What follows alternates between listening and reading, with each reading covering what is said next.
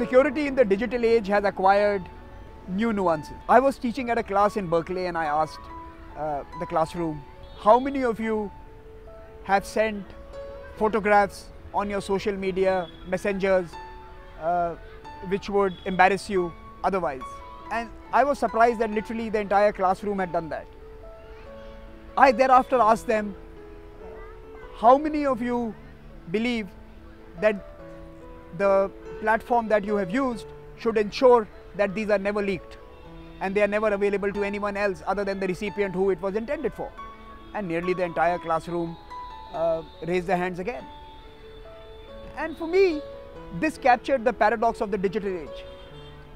We are far more expressive as humans, we want to be far more intimate as humans, we want to share much more as humans, and yet we want the absolute, complete delivery of securing our private and personal space. A full a age of full expression and complete privacy defines individual security in the digital age. Now I was talking about only uh, one element of what this private space might be, uh, but in the digital age, uh, the same platforms are used to conduct commerce for your bank accounts, for your um, uh, sharing vital information, for sharing your health records, for talking to your, your kids, to your wife, to your family, to your friends, for conducting your life itself. Your life has gone digital.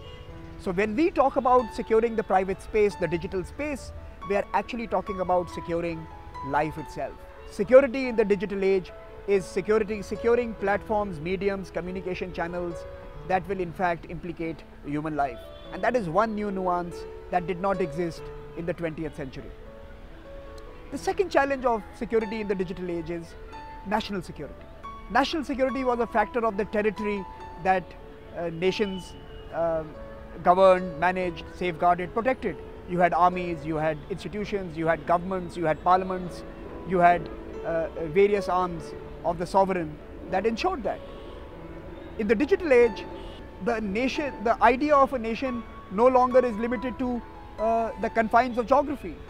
You have escaped uh, territory, you have escaped time itself. Today, incidents happening in uh, faraway uh, countries and lands implicate your national security. The war on terror, which was a product of uh, uh, incidents in the United States of America, changed South Asia completely. Similarly, mobilizations that take place in one part of the world uh, challenge regimes in different parts of the world. You have seen campaigns, some of whom uh, uh, many of you would have engaged with around climate change, having a global scape, uh, a global uh, uh, scope and a, a global appeal. And these challenge national arrangements as well. So when the nation resides outside its boundaries, the security is dramatically implicated.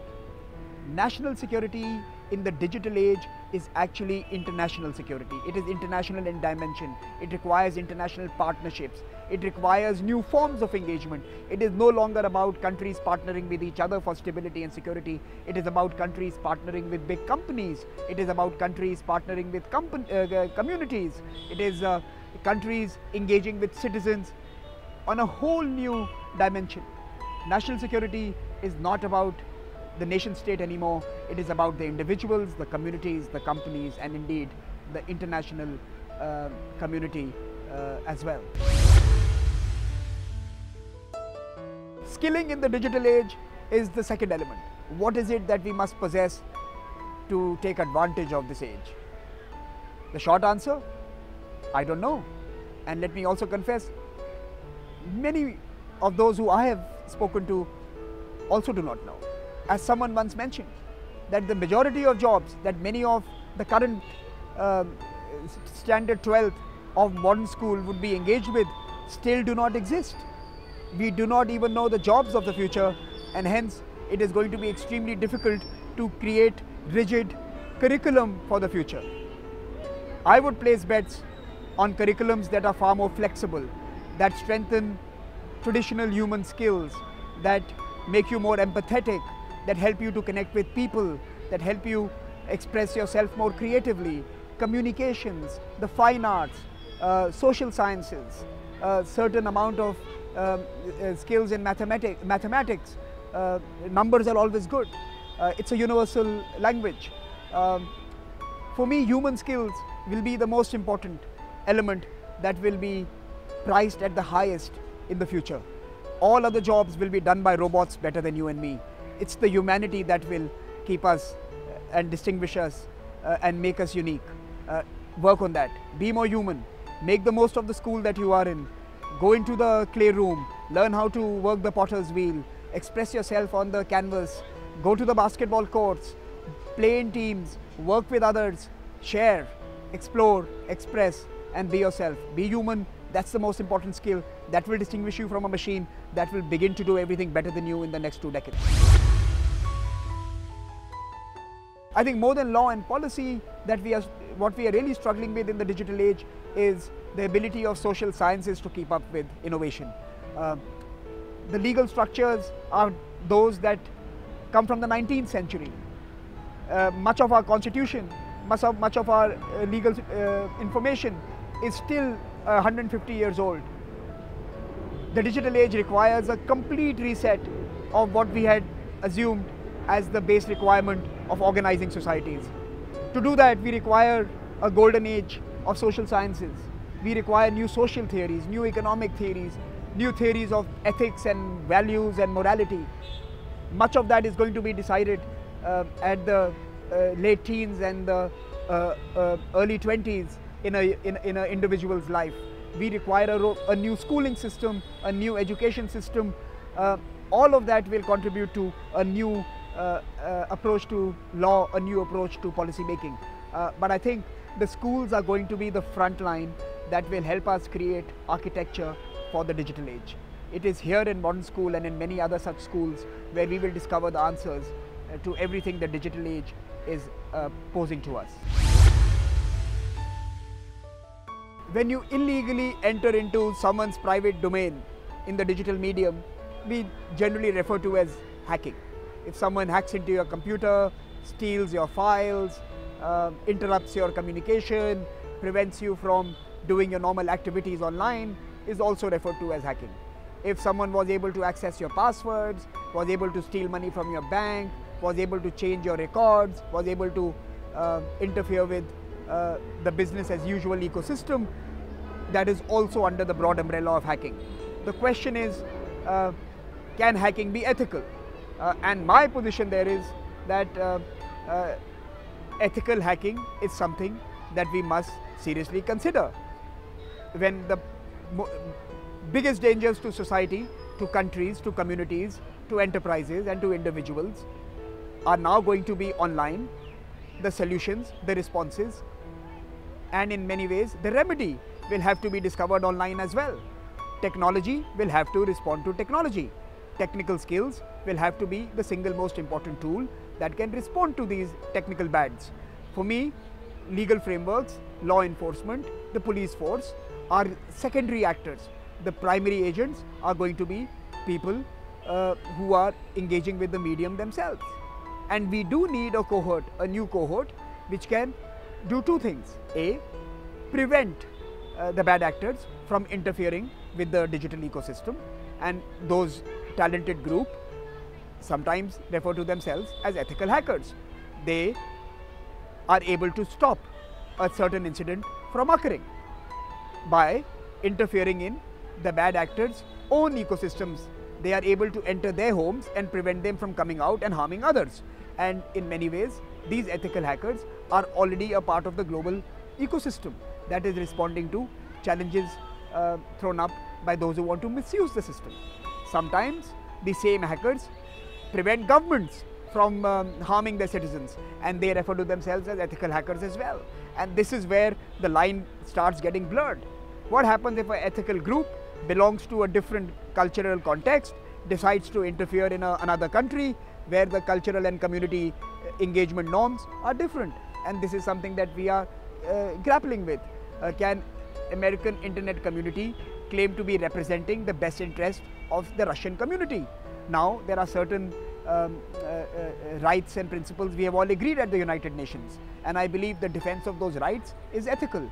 The defense of the values we have all signed on to uh, at the United Nations uh, eh, under the three documents of rights that we have established uh, is ethical for me. But some of them, um, and some countries and some communities and some of my peers disagree with that. Uh, so I think the domain of ethical hacking is both uh, contested and very interesting. Uh, many countries have their own uh, cyber warriors who continuously prevent their opponents from harming the country. Uh, are they ethical? are they agents of the state? Are they the new age James Bond? Are they the new age CIAs and RAWs? I don't have the answer, but they do exist. Similarly, many enterprises are now uh, employing um, the same warriors to protect their uh, uh, financial values and operations. Uh, is there something ethical about it? Or are these new age security guards, the bouncers outside clubs, are they the digital uh, versions of those? Again, it's a contested um, area, but certainly one that must be engaged with. Uh, and I think we will eventually as a community be able to discern the good hackers from the bad ones, uh, but the debate has begun and they certainly do exist. You know, there was an interesting uh, graph I saw recently which uh, told me that uh, even as good, the flow of goods and services has plateaued uh, across the globe, the movement of goods and the movement of services from one country to the other has stagnated over the last few years. The flow of data is increasingly growing rapidly. In fact, there's an exponential growth in the flow of data across borders. Data seems to be uh, the carrier of new value in the digital age. Data is where wealth is embedded and through which wealth is created. And there is this big debate, therefore, that who should control and how should we manage this flow of data. Countries believe that data creates value and data, therefore, must be managed by the nation state. Uh, we must ensure that the data Indians create, for example, uh, must serve uh, the interest of Indian citizens. Uh, the wealth that this data is able to create through innovation in uh, apps and technology solutions, uh, the largest share of that value should flow back to India.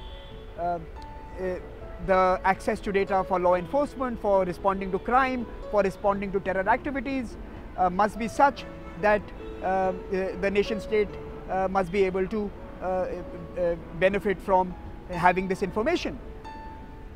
And this whole debate around data is creating divisions in the digital ecosystem around the world. One school of thought believes that a global internet requires data to be able to be uh, flowing globally. Um, I think that has dominated the spirit of the development of the technology sector over the last 20 years. More recently, uh, certain geographies believe that uh, they must be able to manage this flow of data. The European Union has come out with its uh, data protection uh, framework called the GDPR. Please go and look it up, look it up and read it online. And they are seeking that certain provisions must be established before this data is shared with any other geography the Indian government is in the process of putting together its own uh, uh, data protection law, which will in some ways uh, restrict or condition the flow of data across the net. Um, data sovereignty is an idea that the Indian Minister for Communications and Information Technology has strongly advocated for. Uh, data produced in India, data of Indians must be protected and served by the Indian sovereign. It must be um, uh, a domain that must not be usurped by uh, external jurisdictions. Uh, the wealth that this data cre creates must first serve Indians and then must be shared with the world. And data sovereignty, therefore, uh, is a new uh, proposition which has been posed by certain countries, including India.